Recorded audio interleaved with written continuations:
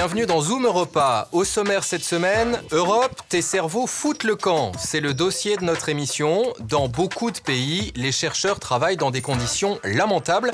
Ils trouvent refuge aux États-Unis, mais la Finlande sauve l'honneur. Quel est le dernier marché de la voiture en Europe? La Lituanie. C'est la plaque tournante du commerce automobile entre l'Ouest et l'Est. Un trafic pas toujours très clair. Parlez-vous le gaélique? Cette langue très rare vient d'être officiellement reconnue par l'Union européenne. Il y en a 23 en tout. Il est de plus en plus difficile de se comprendre au Parlement. Il y a 60 ans, le plan Marshall, comment l'Amérique a aidé l'Europe à se remettre de la guerre. Et puis quand un miroir change la vie d'un village, c'est en Italie. S'il y a une chose que l'on retrouve partout en Europe, de Brest aux confins de la Roumanie, c'est bien la sacro-sainte bagnole. La voiture, indispensable pour aller au travail, marque de réussite sociale, industrie importante pour l'économie de certains pays. Depuis l'ouverture de l'Europe à l'Est, le marché de l'automobile évolue. Des grands constructeurs français comme Renault ou Peugeot s'installent en Roumanie ou en République tchèque.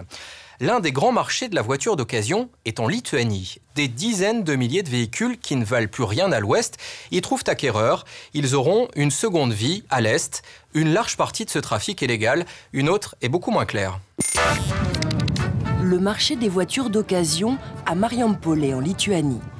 Les marchands viennent du Kirghizistan, du Kazakhstan ou du Tadjikistan. La marchandise, elle, est importée d'Europe centrale ambiance de bazar en Lituanie. Les marchandises fraîches arrivent plusieurs fois par jour de France et d'Allemagne en particulier. Ce sont les grosses berlines allemandes qui tiennent le haut du pavé, affirme Romas, un des nombreux marchands lituaniens. Romas adore ce métier. Il aime la liberté et le joyeux chaos qui règne sur le marché. Je n'ai pas beaucoup de temps, mais vous pouvez venir avec moi. Les voitures qui se trouvent ici sont déclarées en douane dès que nous avons un acheteur. Et ici, les acheteurs achètent vite et beaucoup. Peu importe l'état. À Marion-Paulet, même les épaves se vendent à bon prix. Est-ce qu'il y a aussi des marchandises illégales? Des voitures volées? Oui, il y en a aussi. Nous avons tout ce que vous pouvez imaginer. Un acheteur kirghize a jeté son dévolu sur un véhicule accidenté. Après une rapide inspection, acheteur et vendeur négocient le prix. À la fin, tout le monde semble satisfait. Il me faut 10 voitures. Celle-ci est pas mal. Ici, tout se paie cash. 1600 euros pour cette voiture. En euros ou en dollars, peu importe. L'aspect ou la couleur de la voiture sont d'ailleurs accessoires. Pour Romas, la course continue. Il doit chercher les formulaires pour la douane. Près de 200 voitures sont déclarées ici tous les jours. Ces démarches administratives sont fastidieuses, mais aussi nécessaires. Sans cela, ce serait le chaos total. Nous avons jusqu'à un million de voitures ici. Subitement, un attroupement se forme près d'une des voies d'accès au marché. Un nouveau lot de voitures vient d'arriver d'Allemagne. Un groupe d'acheteurs du Tadjikistan et du Kazakhstan a guetté ce moment depuis des heures. Ils n'ont que quelques instants pour acheter les voitures directement aux transporteurs. Le jeu consiste à devancer les marchands lituaniens, nous disent Vachob et Maxoud. La chance est au rendez-vous, le transporteur était de bonne humeur. En quelques secondes, Vachob apprend l'essentiel sur la marchandise, vérification des véhicules accidentés et de seconde main. Comment ça se présente? Bien, mais le propriétaire n'est pas là. Pourquoi vous voulez absolument ces voitures-là? Il y en a des milliers d'autres sur le marché. Mais elles sont moins chères. Elles sont moins chères avant que les marchands lituaniens ne les achètent aux transporteurs. En prenant une marge confortable au passage. Des marchands comme l'infatigable Romas. Il nous explique la situation en courant à son prochain rendez-vous. Les acheteurs ont tous un visa d'un mois, juste le temps d'acheter une dizaine de voitures. Il les amène en Russie ou plus loin en Asie. L'enjeu en vaut la peine pour nous tous. Romas nous confie un de ses secrets. Un garagiste non loin de Marianne Paulet. Virtuose de la clé à molette, Arunas et son fils Edvinas donnent un second souffle au moteur, même au cas les plus désespérés. Cela me suffit pour vivre, je n'en demande pas plus. Les Lituaniens sont de bons mécaniciens, mais vous autres Allemands, vous devriez vous occuper un peu mieux de vos moteurs. Arunas aurait préféré rester agriculteur, comme à l'époque des kolkhozes, mais les temps ont changé. L'agriculture ne nourrit plus son homme. Retour à Marianne Paulet. Installée un peu à l'écart, Evaldas et ses collègues gagnent leur vie en recyclant les invendus. Presque toute la région vit des surplus de la société occidentale, constate-t-il. Vous arrivez à en vivre? Comment je m'en sors? Oh, ça va. Il n'y a pratiquement rien d'autre à faire ici. Nous chargeons la ferraille sur des wagons qui partent ensuite à l'usine. Un peu plus loin, au milieu des voitures, nous rencontrons Dahlia. Hors caméra, elle nous dit que ses deux enfants sont partis vivre à Londres, où ils travaillent dans un coffee shop. Dahlia n'a pas honte de son travail. La collecte des déchets occidentaux lui permet de profiter, elle aussi, du commerce de voitures d'occasion. La région est pauvre, confirme la patronne de l'agence d'assurance.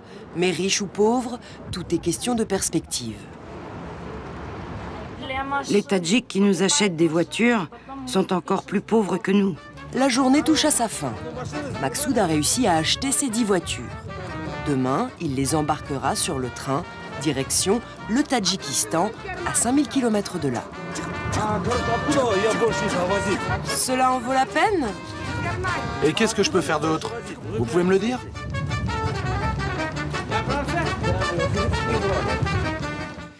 L'une des informations les plus importantes de la semaine en Europe nous est venue d'Irlande du Nord. Dimanche dernier, les délégués du Sinn Féin, le principal parti catholique, ont accepté de reconnaître l'autorité de la police nord-irlandaise. Ils l'ont longtemps accusé d'être favorable aux protestants et leur vote ouvre la voie à un gouvernement de coalition après les élections de mars. En ce début d'année également, la langue irlandaise, le gaélique, a été officiellement adoptée au Parlement européen. Ajoutez à cela le bulgare, le roumain, après leur entrée dans l'Union, cela fait 23 langues officielles. Mais alors, comment fait-on pour se comprendre quand une réunion rassemble un Irlandais, un Roumain, un Bulgare? Il y a près de 3000 interprètes au Parlement. Ils sont indispensables.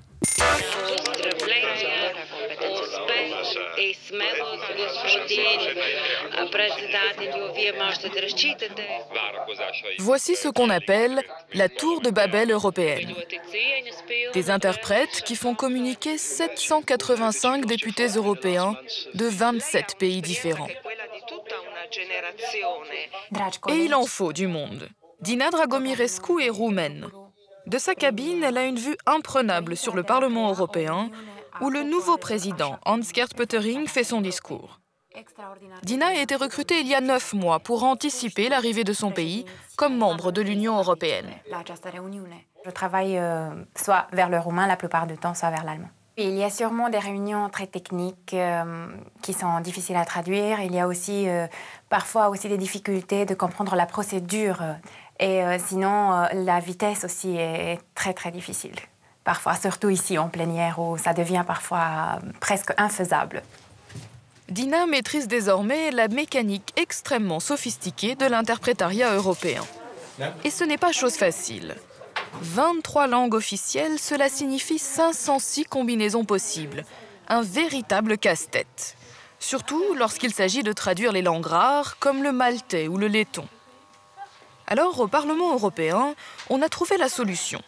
On passe par une langue intermédiaire, ce qu'on appelle dans le jargon une langue pivot. Jusqu'à il y a 10 ans, 15 ans, c'était le français, la langue pivot entre les différents citoyens européens. Maintenant, c'est l'anglais.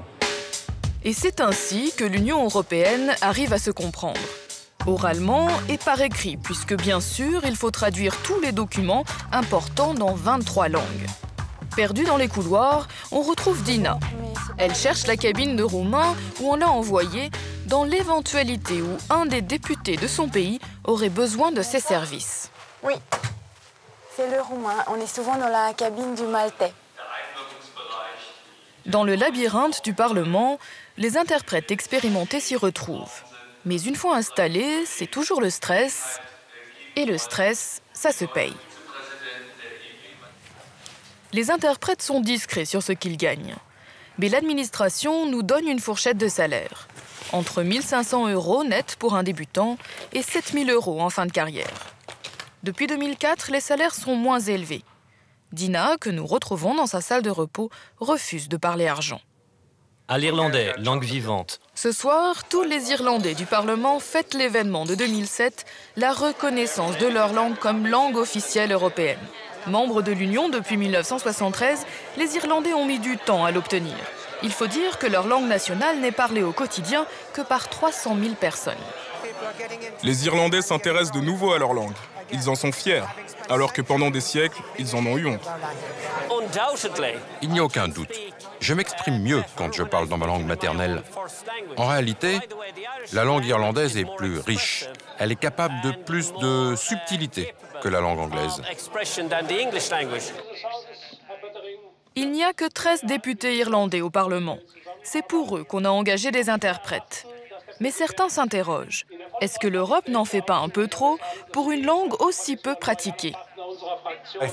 Je pense que ça va ouvrir la boîte de Pandore. À l'avenir, toutes les autres régions qui parlent des dialectes ou des sous-dialectes vont vouloir elles aussi être traitées comme des langues officielles dans les institutions européennes. Et alors là, on va avoir un gros problème de communication. Après les Irlandais, les Catalans et les Basques pourraient bien aussi revendiquer davantage d'interprètes. Mais le multilinguisme a des limites, celle du budget.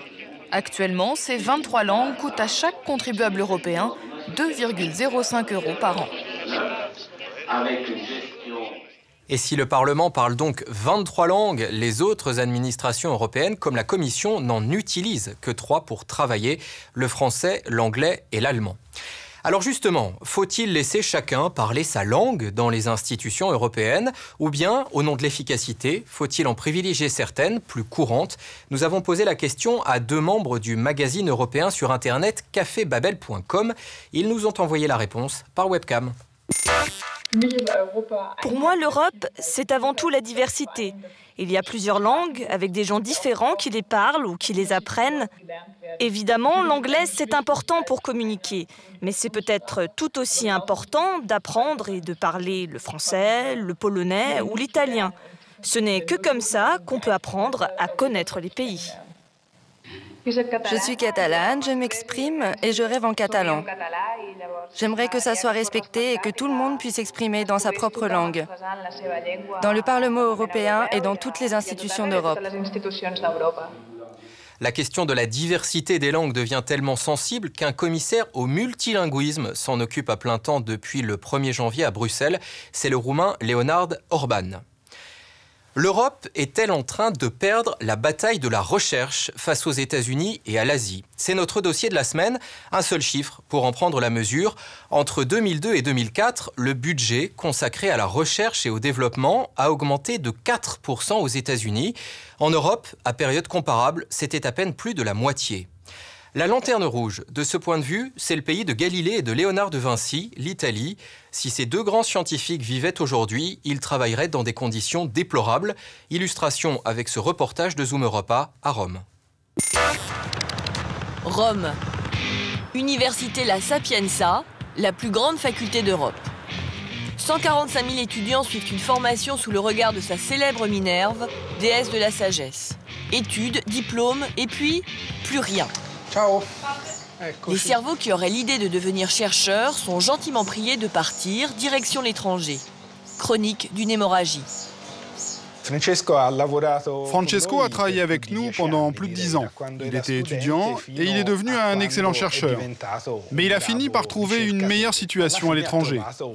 En ce moment, il est ici car on continue à travailler ensemble, mais il est financé par un institut étranger.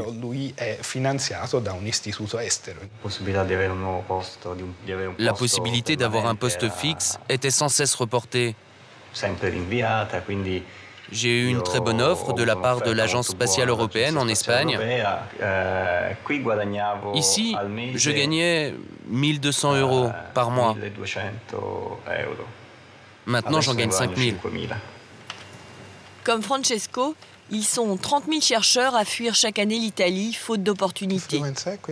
Faible salaire, petits contrats à répétition, concours épisodiques, même quand ils travaillent avec des professeurs renommés dans le monde entier comme Paolo De Bernardis, les perspectives sont bien maigres.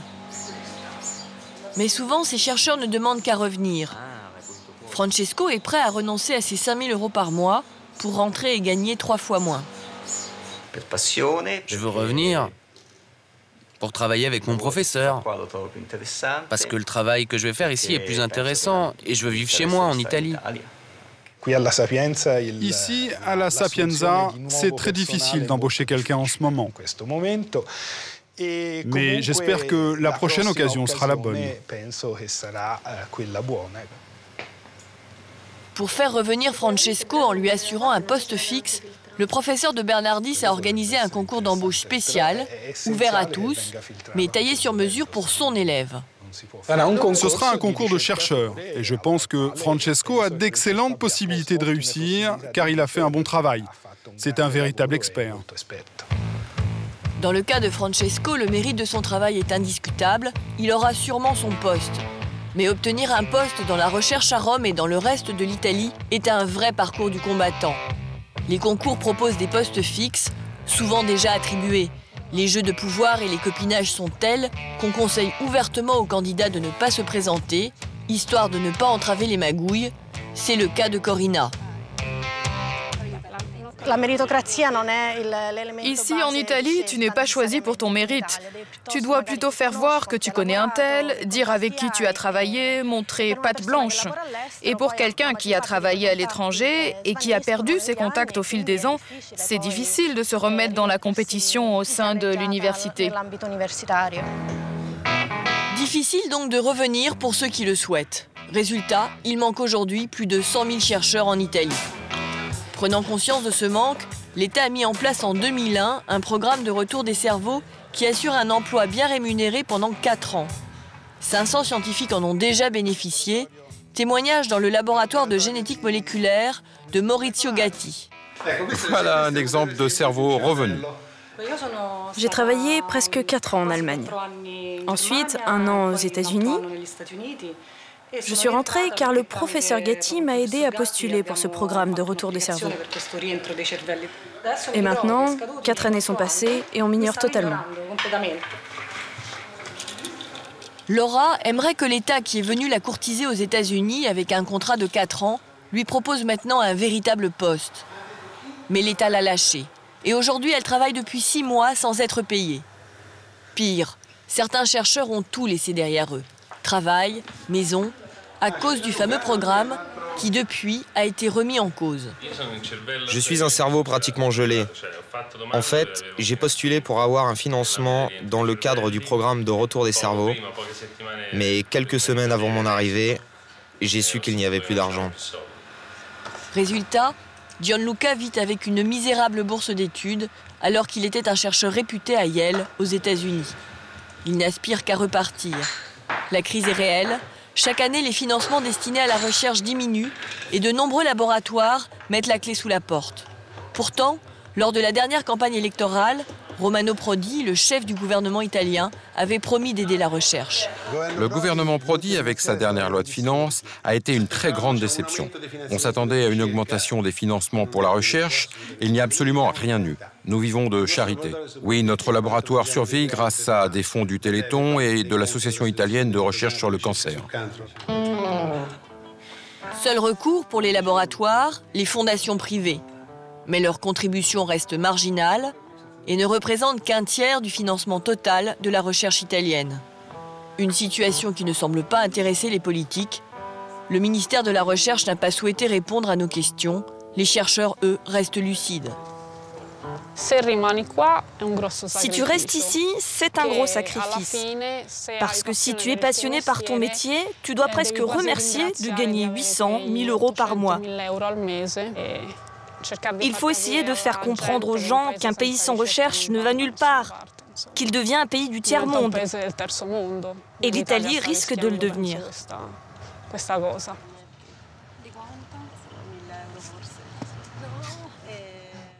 En France, la situation est à peine meilleure qu'en Italie. En l'an 2000, à Lisbonne, l'Europe s'est fixé un objectif 3% de sa richesse doit être consacrée à la recherche. Pour l'instant, en France, nous sommes plus près des 2%. Récemment, Ségolène Royal et Nicolas Sarkozy ont assuré qu'ils doperaient le budget, 10% pour l'une, 25% pour l'autre, s'ils remportaient la présidentielle.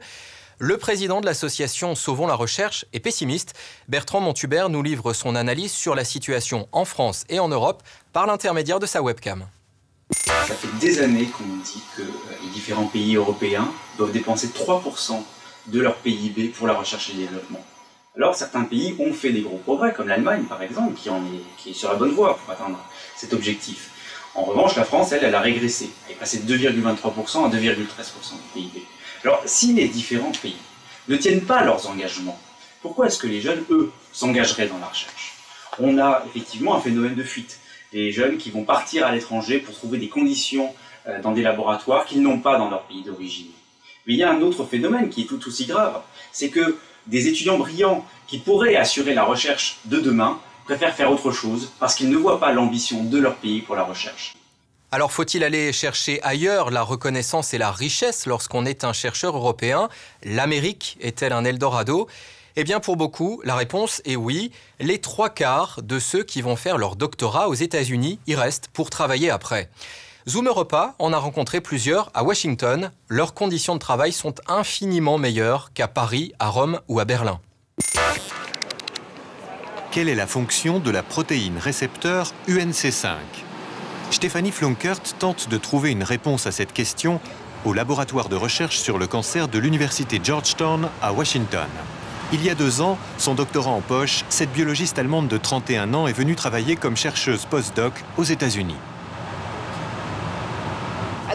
Là, je ne fais rien de particulier à part diluer les cellules. Normalement, je fais des expériences avec ces cellules en injectant par exemple des séquences d'ADN bien définies et en observant l'effet que cette manipulation produit sur ces cellules. Après son départ de l'Institut Max Planck pour la recherche sur le cerveau à Francfort, Stéphanie n'a pas trouvé de travail en Allemagne. Ni dans l'industrie, ni à l'université. Aux États-Unis, elle a été accueillie à bras ouverts dans l'équipe dirigée par un Allemand et qui compte trois chercheurs allemands, deux Italiens, un Russe et un Chypriote. Comparé à la pénurie de moyens dans la recherche publique en Europe, ici l'argent n'est pas un sujet de discussion. Un professeur m'a dit un jour ici, je ne veux pas des économies, je veux des résultats. En Allemagne, par contre, on y regarde à deux fois avant de dépenser de l'argent, même pour commander les produits ou réactifs nécessaires à nos recherches.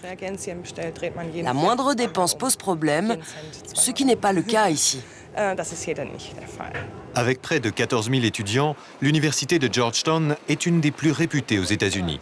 Les frais d'inscription sont conséquents, entre 30 et 40 000 dollars par an, mais le niveau de motivation est élevé un aspect apprécié des enseignants allemands comme le politologue Kai Henrik Barth. Pour ce scientifique, le cadre de Georgetown n'a pas grand-chose en commun avec son ancienne université à Hambourg. Voici notre salle de conférence, où nous retrouvons nos étudiants ou les autres membres de la faculté pour des événements en tout genre ou des conférences. Les lambris ont un côté rustique très allemand, mais la salle est truffée de technologies. Les projecteurs et caméras pour les vidéoconférences sont par exemple intégrés dans les caissons du plafond. Cela fait 15 ans que le professeur Barth enseigne aux États-Unis. Sa spécialité, politique étrangère et de sécurité un domaine particulièrement subventionné depuis les attentats du 11 septembre. Le professeur apprécie la culture d'enseignement américaine et les rapports peu compliqués entre enseignants et étudiants. L'université lui laisse les coups des franches. Nous sommes moins dépendants du doyen de l'université, nous sommes plus libres de nos mouvements. Je peux par exemple organiser sans problème une conférence. Je suis très bien soutenu aussi par mon patron et par le patron de mon patron. Pour moi, les conditions de recherche sont vraiment idéales. Bienvenue dans le nouveau monde. Parfaitement intégré dans la société américaine, Kay Henrik Barth ne veut plus retourner en Allemagne. Un choix auquel son expérience personnelle n'est pas étrangère. Mon attachement à ce pays s'est énormément renforcé avec les événements du 11 septembre. Nous étions ici, à Washington, au moment des attentats. C'était une des expériences les plus marquantes dont je me souvienne. L'incompréhension de mes collègues et amis européens en ce qui concerne la profondeur émotionnelle de cette expérience a même facilité ce détachement de mon pays d'origine. J'avais bien sûr déjà des affinités pour les États-Unis, même avant, mais ces attentats m'ont facilité le pas suivant pour m'impliquer encore plus dans ce pays.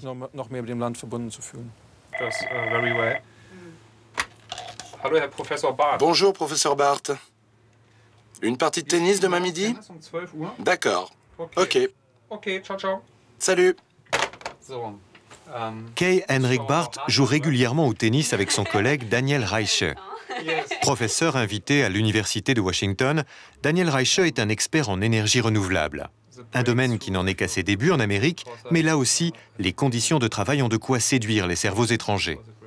Le grand avantage ici sont les cours avec des effectifs réduits. Les rapports avec les étudiants sont très bons et directs, ce qui me permet d'être d'autant plus efficace. Six étudiants assistent aux cours du professeur allemand, le rêve de tout enseignant. Près de 6000 chercheurs allemands travaillent aujourd'hui dans les universités américaines. Daniel Reiche est prêt à retourner en Allemagne, mais les conditions de travail et la culture d'enseignement aux États-Unis sont une véritable tentation pour ce scientifique. Alors il y a tout de même un pays qui sauve l'honneur en Europe, c'est celui des téléphones portables, la Finlande. C'est l'un des rares à consacrer effectivement 3% de son budget à la recherche. On met les moyens et en plus on établit de bonnes relations avec les entreprises. Le modèle finlandais, troisième reportage de notre Zoom de la semaine. La Finlande est devenue en quelques années le champion d'Europe de la recherche.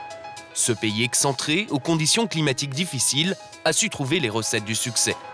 Pour mieux comprendre, nous sommes partis à la rencontre de trois personnalités des secteurs de pointe de la recherche finlandaise. Marty Mantila, professeur en technologie des télécommunications. Airi Palva, biologiste à l'université, et Kiel Forsen, le PDG d'une entreprise spécialisée dans l'environnement. Les miracles sont rares. On a tous les talents et toutes les compétences dont nous avons besoin ici. Et ce n'est que le début du phénomène. Les mauvaises langues diront que la Finlande bénéficie avant tout du succès du champion mondial de la téléphonie mobile. C'est vrai, Nokia assure le tiers des investissements en recherche du pays. Mais en fait, l'entreprise joue un rôle moteur pour toutes les autres institutions. Exemple à l'Institut d'Helsinki des technologies de l'information. Ici, on développe les services high-tech de demain au cœur d'un laboratoire public créé il y a 7 ans public et pourtant beaucoup de chercheurs travaillent aussi pour des entreprises privées. Certains ici travaillent pour l'Institut, mais aussi à Nokia ou Ericsson ou tout autre opérateur télécom et les entreprises de médias. On fait bouger les barrières entre la recherche académique et l'industrie. Et tout le monde est gagnant.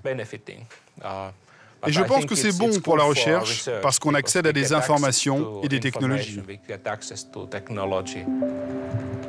Un partenariat public-privé où tout le monde serait gagnant? Du côté des entreprises, on partage cet avis.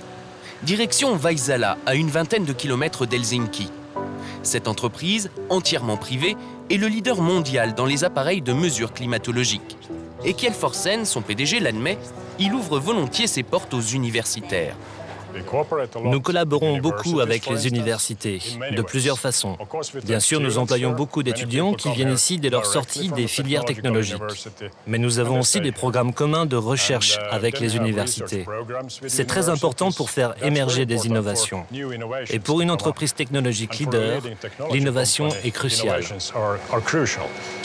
Vaisala fournit des appareils de mesure à une grande majorité des instituts de météorologie dans le monde des appareils qu'il faut en permanence développer. Pour cela, les chercheurs représentent près d'un employé sur trois et l'entreprise est devenue le champion de l'investissement consacré à la recherche et au développement. Nous investissons encore beaucoup de notre chiffre d'affaires en recherche et développement, plus de 10%. C'est beaucoup plus que la moyenne. Cela nous permet d'être au top. Notre stature mondiale nous le permet. L'argent, le nerf de la guerre en matière de recherche. En fait, tout le pays participe à cet effort. La Finlande investit 3,5% du PIB dans la recherche et le développement. C'est presque deux fois plus que la moyenne européenne.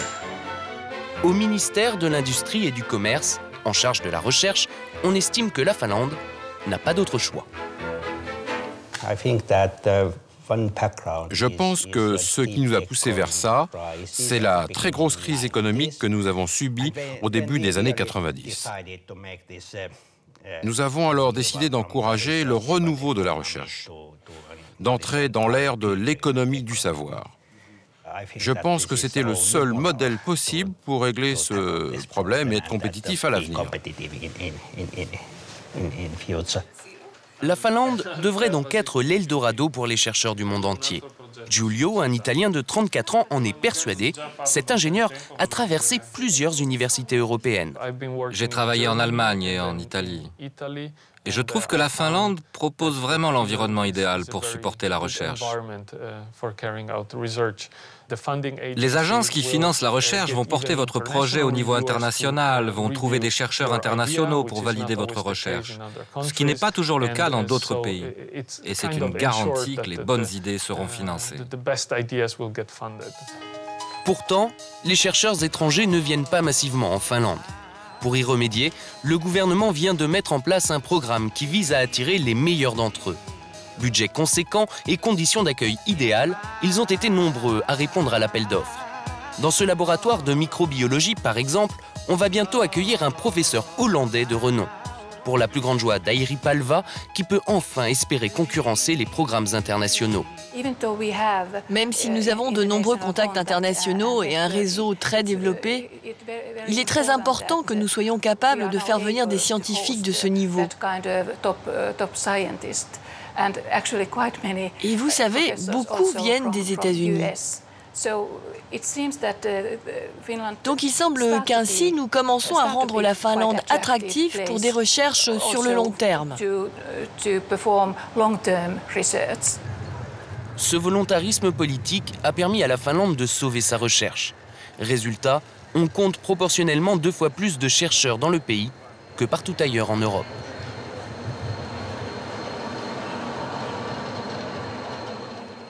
Alors la solution pour la recherche en Europe passe-t-elle par une plus grande collaboration avec le privé? Cela fait grincer des dents, mais en France, certaines institutions n'hésitent plus à sauter le pas. L'école polytechnique développe ainsi des partenariats privilégiés avec des entreprises comme EDF, Samsung ou Thales. La semaine prochaine, le dossier de Zoom Europa nous emmènera à l'Est, en Pologne. Quelles sont les personnalités qui ont marqué l'actualité européenne, qui est en forme, qui est en panne? C'est notre baromètre de la semaine.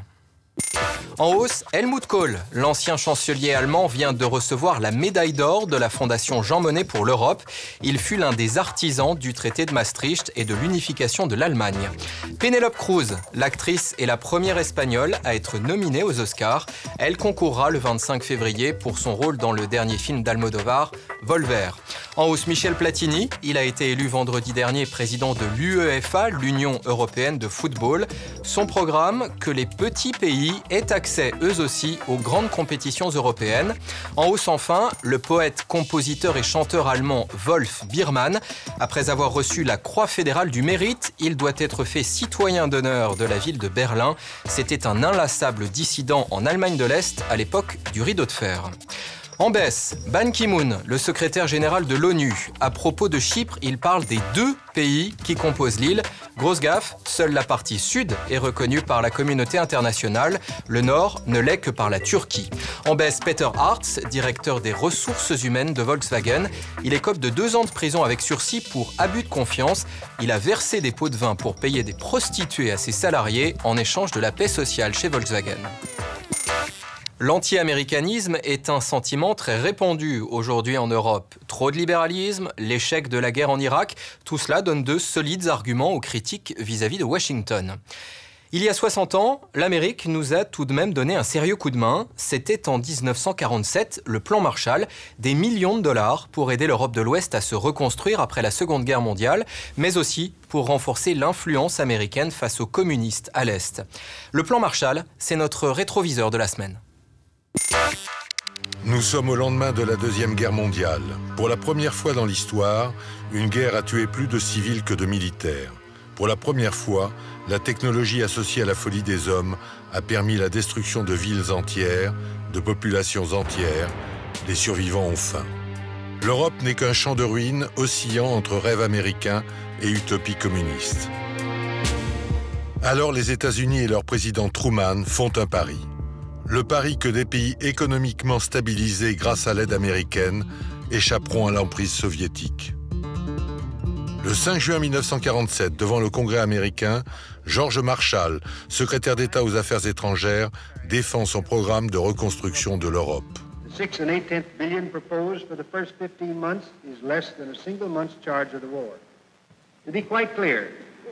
This unprecedented endeavor of the new world to help the old is neither sure nor easy.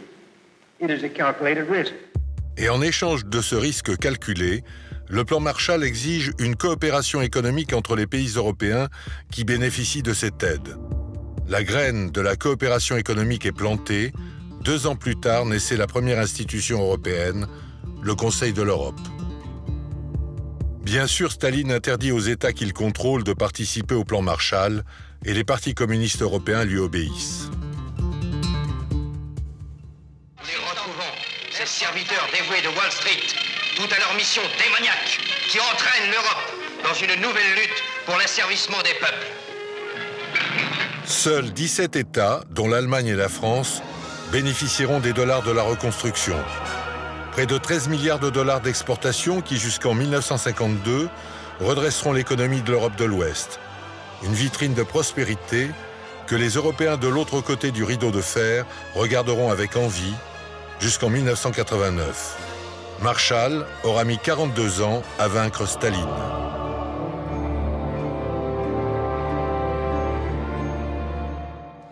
Et l'expression plan Marshall est devenue un lieu commun employé dès qu'une aide massive est promise à un pays. Par exemple au Liban, lors de la conférence de Paris la semaine dernière, la Commission européenne promet de donner plus de 400 millions d'euros pour la reconstruction du pays. Dans l'actualité européenne encore, la réunion des 18 pays qui ont voté oui à la Constitution vendredi dernier à Madrid, la France n'était pas invitée, les participants se disent prêts à écouter les propositions des pays qui ont voté non. La ministre française des Affaires européennes, Catherine Colonna, est pour simplifier le texte sans le reprendre à zéro. Et puis les Espagnols, les Français, les Allemands et les Italiens se disent déçus par l'euro. Selon un sondage pour le Financial Times, une majorité estime que la monnaie unique a nuit à leur économie nationale. Ils regrettent leur ancienne devise. Notre Européen de la semaine habite en Italie, précisément à Viganella, dans le Piémont, à l'ombre des Alpes. La montagne est tellement proche qu'elle empêchait le soleil d'éclairer le village pendant l'hiver. Le maire Pierre Franco Vidali a trouvé la solution, un miroir qui réfléchit la lumière du jour. Il a changé la vie de ses administrés.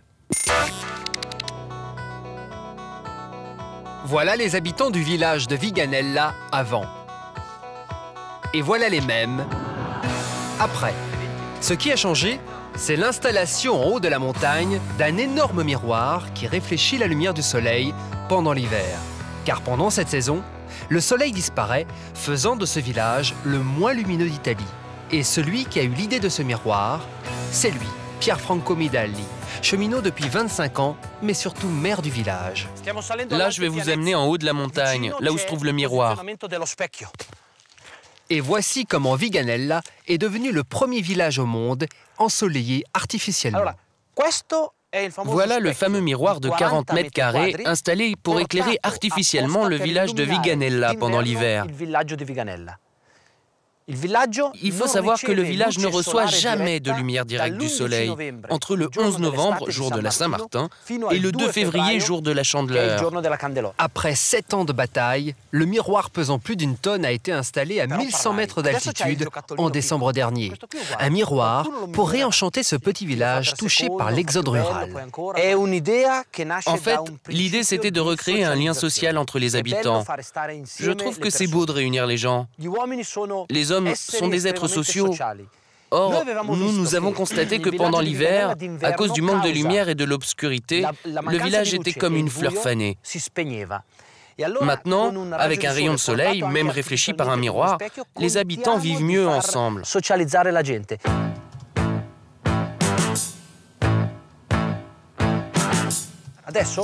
Je vais vous montrer comment c'était dans le village avant le miroir. Concrètement, on va l'orienter de manière à ce qu'il ne réfléchisse pas la lumière. Puis on va faire en sorte que le miroir projette les rayons solaires sur la place de l'église. Le Créateur a dit que la lumière soit. Et la lumière fut à Viganella. Un miracle ce miroir. Dans ce village, à la population âgée, personne n'y croyait sauf Giacomo. Oh Alors, lui, c'est l'ingénieur qui a conçu ce projet de miroir. Salut. Cela semblait une utopie, un peu un mirage qui s'opposait aux lois de la science. Mais moi, je n'ai jamais douté de notre réussite, parce que la lumière du Soleil parcourt 1 200 000 km pour aller du Soleil à la Terre. Donc vous pensez bien, un kilomètre, même avec un miroir, c'est vraiment rien. Mais comme toujours, Pierre Franco y a mis toute son énergie. Et visiblement, il n'en manque pas. Mon mari est un peu fou d'ailleurs, il ne marche pas dans la rue, il ne marche pas, il court. Parce que sa vie c'est ça, courir, courir tout le temps. D'ailleurs aujourd'hui, il est l'invité vedette de la rail. Sa femme et ses parents sont devant leur poste. Incroyable mais vrai, le soleil est revenu à Viganella. Bonjour monsieur le maire. Bonjour, bonjour à vous. Son cœur de faire boum boum.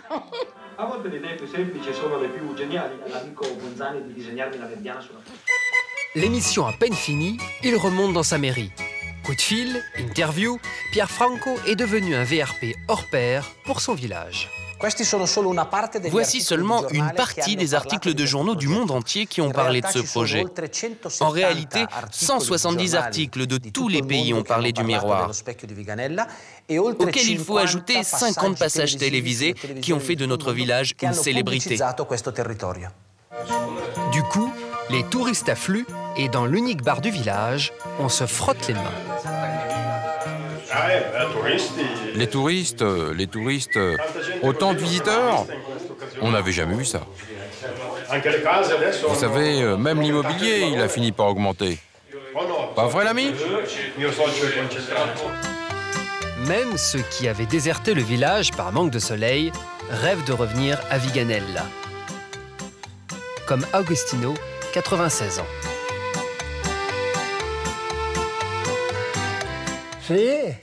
Ah oui. Maintenant, quand il fera beau, qu'il n'y aura pas de brouillard, alors on ira voir le soleil à Viganel, sur la place de l'église. Le soleil finit malgré tout par se coucher, le temps de faire une pause pour Pierre Franco et de s'adonner à sa passion, l'astronomie. En ramenant le soleil, il a un peu décroché la lune.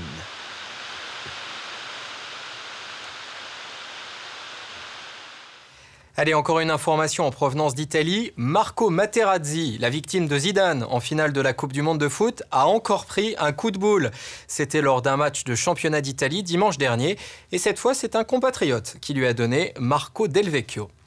La semaine prochaine, dans Zoom Europa, notre dossier sera consacré à la Pologne. Quelle est sa place dans l'Europe des 27 Nous irons au Portugal, où se tiendra bientôt un référendum sur l'avortement.